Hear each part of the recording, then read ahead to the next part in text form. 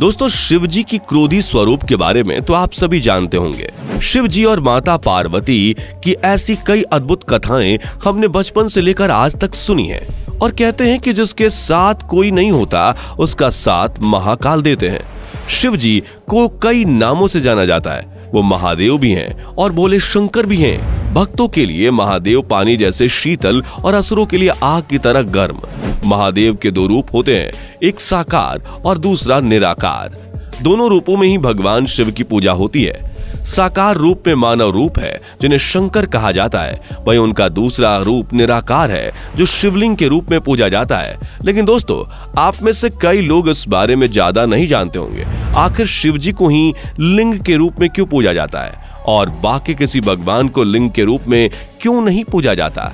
तो दोस्तों, आज हम इस वीडियो में आपको शिवलिंग की पूरी कहानी बताने वाले हैं। वीडियो को अंत तक ज़रूर देखिएगा। आज शिवजी के लिंग की पूजा के पीछे की पूरी कहानी हम आपको बताने वाले हैं। वीडियो पसंद आए तो वीडियो को लाइक, शेयर करना बिल्कुल भी मत भूलिएगा। दोस्तों, अभी कुछ ही दिन पहले महाशिवरात्रि बीती है और देश भर में इस त्योहार को बड़ी धूमधाम से मनाया गया। भगवान शिव की पूजा इस दिन की जाती है और शिव को लिंग के रूप में भी पूजा जाता है। लेकिन कई लोगों के मन में यह सवाल रहता है कि आखिर भगवान शिव के लिंग की ही पूजा क्यों की जाती है? शिवलिंग का इतिहास हज़ारों वर्ष पुराना है। आदिकाल से शिव को लिंग के रूप में पूजा जाता है। शिवलिंग के रूप में भगवान शिव को पूजे जाने को लेकर कई कथाएँ और मान्यताएँ हैं। जिनमें बताया गया है कि आखिर सिर्फ़ भगवान शिव को ही लिंग के रूप में क्यों पूजा जाता है? बाकी किसी भगवान को क्यों नहीं?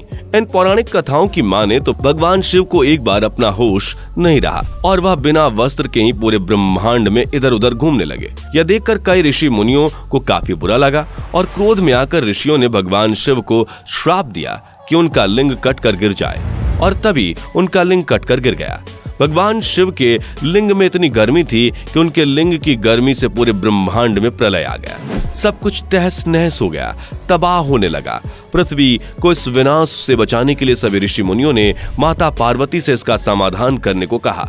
माता पार्वती ने उन विनाशों को रोकने के लिए भगवान शिव का लिंग धारण कर लिया और पृथ्वी को विनाश से बचा लिया। कहते हैं कि तभी से भगवान शिव को लिंग के रूप में भी पूजा जाने लगा। दोस्तों, जैसा कि आप लोग जानते हैं कि दुनिया भर में शिवलिंग कई प्रकार के होते हैं और सभी पर जल चढ़ाने की रीति सदियों से चली आ रही है। कहा जाता है कि अमृत मंथन के दौरान विष को जगत में फैलने से रोकने के लिए विष को समाप्त करना बहुत ज़रूरी था। तब भगवान शिव ने सारा विष अपने कंठ में रोक लिया, जिसके कारण उनका पूरा कंठ नीला पड़ गया। दोस्तों, क्या आप जानते हैं तभी से उन्हें नीलकंठ भी कहा जाता है। विष पीने की वजह से भगवान शिव का दाह बढ़ गया और उस दाह को खत्म करने के लिए शिवलिंग पर जल चढ़ाने की परंपरा है। महाशिवरात्रि पर्व को शिवलिंग की पूजा करके ही मनाया जाता है। शिवलिंग के पूजे जाने के पीछे एक और कथा प्रचलित है। लिंग महापुराण के अनुसार एक बार भगवान ब्रह्मा और विष्णु के बीच श्रेष्ठता का विवाद हो गया। जब उनका विवाद बहुत अधिक बढ़ गया, तब अग्नि की ज्वालाओं में लिपटा हुआ लिंग भगवान ब्रह्मा और भगवान विष्णु के बीच आकर स्थापित हुआ। दोनों उस लिंग का रहस्य नहीं समझ पाए। इस रहस्य के बारे में विष्णु भगवान और ब्रह्मदेव ने हज़ारों वर्षों तक खोज की। फिर भी उन्हें उस लिंग का स्रोत नहीं मिला। निराश होकर दोनों देव फिर से वहीं आ गए। जहाँ उन्होंने लिंग को देखा था, वहाँ आने पर उन्हें ओम की ध्वनि सुनाई दी, जिसको सुनकर उन्हें अनुभव हुआ कि यह कोई शक्ति है और उस ओम के स्वर की आराधना करने लगे। भगवान ब्रह्मा और भगवान विष्णु की आराधना से प्रसन्न होकर उस लिंग से भगवान शिव प्रकट हुए और सद्बुद्धि का वरदान दिया। देवों को वरदान देकर भगवान शिव चले गए। और एक शिवलिंग के रूप में स्थापित हो गए। यही भगवान शिव का पहला शिवलिंग माना जाता है। सबसे पहले भगवान ब्रह्मा और विष्णु ने शिव के उस लिंग की पूजा की। तब से भगवान शिव की लिंग के रूप में पूजा करने की परंपरा की शुरुआत मानी जाती है। भगवान शिव को ज्योतिर्लिंग के रूप में भी पूजा जाता है। ज्योतिर्लिंग भगवान शिव का प्रतिनिधित्व करते हैं। मान्यता है कि भगवान शिव ने स्वयं को ज्योतिर्लिंग के रूप में प्रकट किया था देश भर में बारह ज्योतिर्लिंग हैं। ये ज्योतिर्लिंग और खगोलीय रूप से कुछ महत्वपूर्ण बिंदुओं पर स्थित हैं। शिवलिंग को लेकर लोगों में कई तरह के भ्रम रहते हैं, जिन्हें दूर करना बहुत ज़रूरी है। शिवलिंग को सिर्फ़ शिव के प्रतीक के रूप में पूजा जाता है। आपको समझाने के लिए सरल शब्दों में कहें कि जिस तरह व्याकरण में स्त्री लिंग, यानी कि स्त्री का प्रतीक और पुरुष लिंग, यानी पुरुष का प्रतीक माना जाता है, उसी तरह शिवलिंग का अर्थात शिव का लिंग, नहीं बल्कि शिव का प्रतीक। शिवलिंग का अगर संधि विच्छेद करके आप देखेंगे तो पाएँगे कि शिव का सही अर्थ क्या है। शिव का अर्थ होता है कल्याणकारी और लिंग का अर्थ होता है प्रतीक, यानी ऐसी मूर्त या ऐसे प्रतीक जो कल्याणकारी हो। शिव को लिंग के रूप में पूजे जाने को लेकर पुराणों में प्रचलित एक कथा और भी है। कहा जाता है कि एक बार सभी साधु मुनि ध्यान केंद्रित करने के लिए जोत चलाकर पूजा कर रहे थे, लेकिन ऋषि मुनियों का ध्यान केंद्रित नहीं हो पा रहा था, क्योंकि वह ज्योति बार बार तेज हवा की वजह से बुझ जा रही थी।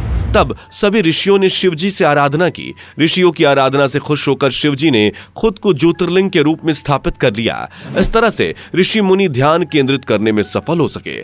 तभी से शिवलिंग की पूजा का विधान है। शिव महापुराण के अनुसार एकमात्र भगवान शिव ही ब्रह्म रूप होने के कारण निराकार कहे गए हैं। भगवान शिव को पूजने वाले कई लोग इस बात पर यकीन करते हैं कि शिव की लीला में बहुत शक्ति होती है और इसके आपको वैज्ञानिक प्रमाण भी देखने को मिल जाएँगे, जिसके साक्ष्य आपको हड़प्पा और मोहनजोदड़ो में मिलते हैं। हड़प्पा और मोहनजोदड़ो की खुदाई में पत्थर के बने लिंग और यूनी मिले हैं।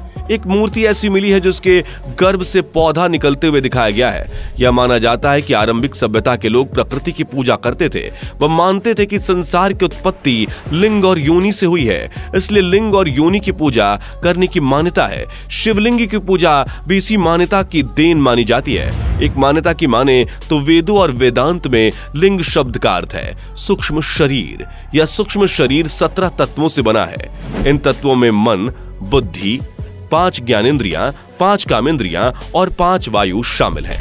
वायु पुराण के अनुसार लिंग उसे कहते हैं, जिसमें प्रलय काल में समस्त सृष्टि जिसमें लीन हो जाती है और पुनः सृष्टि काल में जिससे प्रकट हो जाती है। इस तरह दुनिया भर की संपूर्ण ऊर्जा ही लिंग की प्रतीक मानी जाती है। शिवलिंग की पूजा करने से लेकर कई मान्यताएँ और परंपराएँ हैं। कुछ लोग इन बातों को स्वीकार किए बिना ही तर्क वितर्क करने लगते हैं। लेकिन बिना पुराण और इतिहास का अध्ययन किए, हम ये नहीं कह सकते कि क्या सही है और क्या गलत है।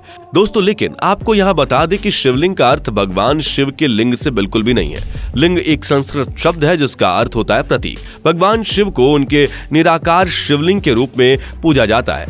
शिवलिंग का अर्थ अनंत भी होता है। वो शक्ति जिसका कोई अंत नहीं है।